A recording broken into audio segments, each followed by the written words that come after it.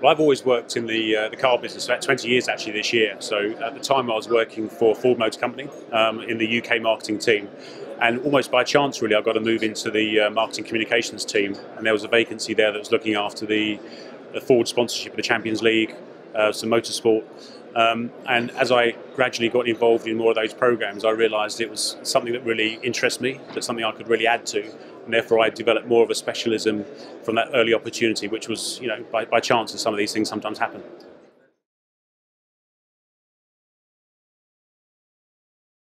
Um, sports marketing is, you know, probably a huge interest to a lot of people because the uh, you know it follows people's passions in sport, which people pursue outside of their careers. So I think a lot of people see it as a way of uh, bringing that into the workplace.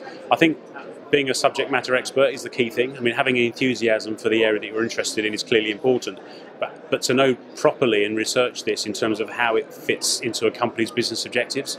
So companies don't invest millions of pounds in sports marketing as, at a whim. There's a there's a science behind it, and I think an understanding of why companies use or how they use sponsorship properties, what are the key metrics, what are the, uh, the return on investments they're looking for, um, is a real key uh, aspect to understand early on in a career. Um, and I think that would really help someone stand out, I think.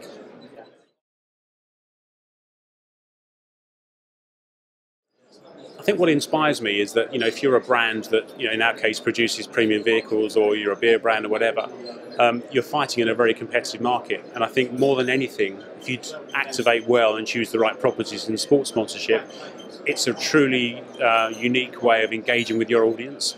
Um, because it's through their passions. You know, people love going, if they're a rugby fan, to a rugby game, obviously, if they're a football fan, the same. So if you can be in that space um, and provide them something that's of value, um, so not something that they can get otherwise through your brand, whether that be content that you're creating on a social media or digital platform, or whether you're picking them up at the station and taking them to the grounds and, and getting your product involved, or you're providing kits to clubs on a you know, so they can play on a Sunday morning and have the, the right, you know, the right um, tackle pads and postcards, etc.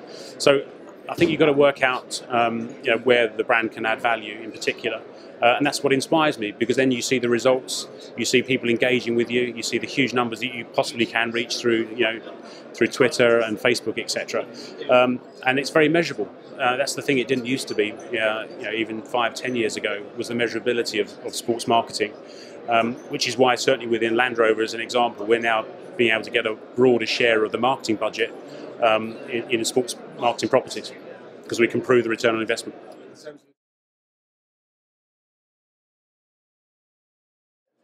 I think it's it's throw yourself into it, particularly, um, but but keep a level head in terms of. I mean, sometimes I've seen some people coming into sports marketing that are totally consumed about the opportunity of being in it that they kind of lose sight of why.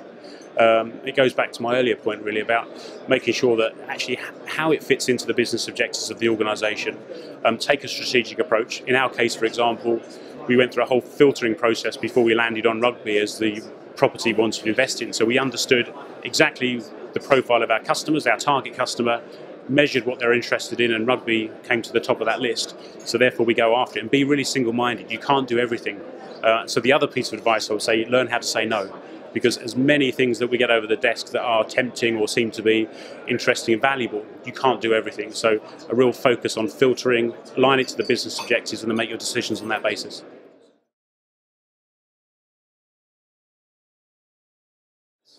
I think my proudest achievement to date is something that happened quite recently, actually. Um, for the first time, both Jaguar and Land Rover brands came together in a sponsorship property, um, which was the Invictus Games that took place in uh, in London this year, this summer, which was a almost like a Paralympic sports for um, wounded and injured and sick servicemen and women from around the world, which Prince Harry let, um, championed.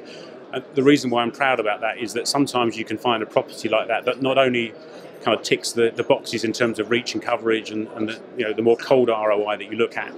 But, but the sentiment and the positivity and doing something for society um, at, a, at, a, softer level was also really, really powerful.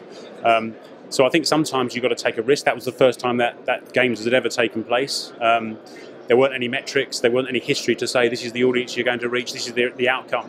So sometimes you've got to take a bit of gut intuition and instinct and go for it. Um, and uh, but ultimately, still at the end of it, prove prove the results, um, and, that, and that's the learning from that as well.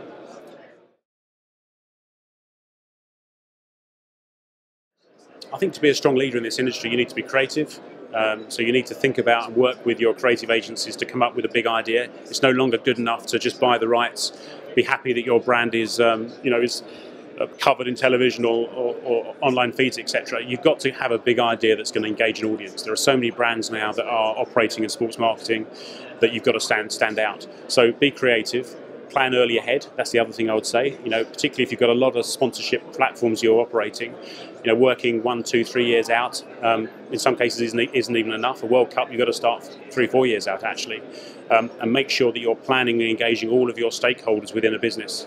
Um, you know, a business of our size, where you have big functions of HR, of IT, of finance actually many of those functions can get benefit from, from your sponsorship um, and also internalizing it within your business. We have 30,000 employees now in the UK. A key part of our strategy for the Rugby World Cup next year is how can we internalise that sponsorship, really get our staff excited, run our own ballots for tickets, get people bringing their own children along as the mascots for the for the games, um, you know, making it really work 360 degrees.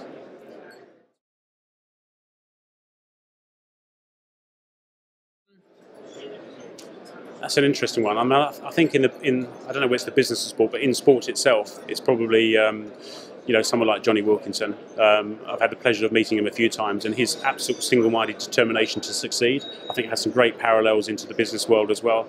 You know, I spoke to him the other day about um, this um, kind of myth that I thought maybe was about him and the amount of hours he puts into his extra practicing and kicking outside of the regular training hours. And it's absolutely true to have a single minded focus about where you want to get to and what's needed to stay at the very top of your game and do it for so long in such a physical sport as rugby. Um, I'm hugely admiring of that.